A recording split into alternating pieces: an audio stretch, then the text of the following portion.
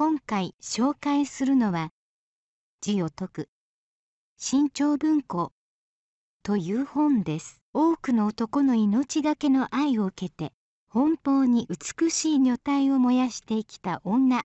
今は京都に静かに余生を送るサトシ蓮天の波乱の生涯を描く煩悩と戦う数目性のはなし京都嵯峨野にある祇王寺安守サトシ蓮天の半生をたどる小説である。12歳になった民は大阪の色町に売られその後数多くの男性との関わりを通して人生を翻弄されていく。彼女の際立つ美貌は多くの男の心を捉え彼らの色欲を満たすことと引き換えに経済的庇護を得て豪奢な生活を送る。しかし彼女の心は一向に満たされることはなく小指を切ることや自殺を試みることなど激しい生き方に終始する。やがて40歳にして人生に思い残すことなしとして煩悩から逃れるため出家を果たす。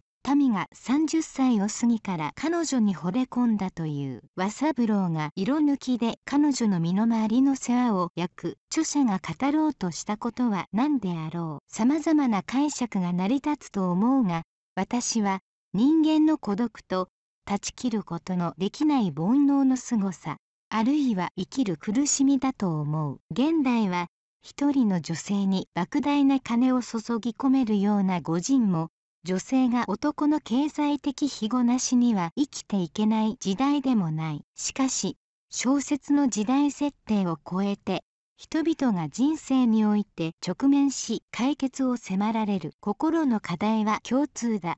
民は多くの男との深い関わりの中でも心が満たされることなく一方で金と色欲に溺れ大いなる煩悩に翻弄される。体の関わりがなくとも身も心も一つと思っていた。和三郎とも様々な祖母と葛藤を経験していく。人は本当に自分自身を理解してもらうことが難しく強い孤独の中で生きていると実感させられる。今生きる上での苦しみがあるのであればじっくりとこの小説に対峙してみるといいと思う。所詮一人と悟れば心が軽くなる。また他人に少しは優しくなれるだろう。また小説の中には四季折々の京都の景色が描かれている。その一つ一つに祇王寺の歴史などを見ても人々の数々の煩悩を吸収し消化してきたからこそ京都は美しいと改めて感じられる。死ぬまで煩悩と戦ってけなげに生きたサトシ蓮天の華奢な姿が読後も心から離れない。おすすめの一冊だ。以上。